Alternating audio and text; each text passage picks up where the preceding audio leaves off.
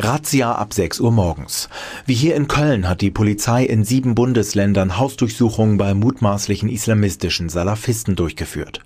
Rund 1000 Beamte durchsuchten 71 Wohnungen und Vereinsheime. Zuvor hatte Bundesinnenminister Friedrich die salafistische Internetplattform Milatu Ibrahim verboten.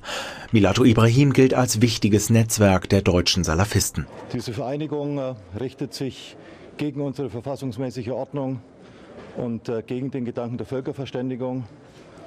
Äh, und deswegen war dieses vereinsrechtliche Verbot gerechtfertigt und notwendig. Wegen derselben Vorwürfe wird gegen zwei weitere Vereine ermittelt. Gegen Dauer, FFM und die Gruppe Die wahre Religion.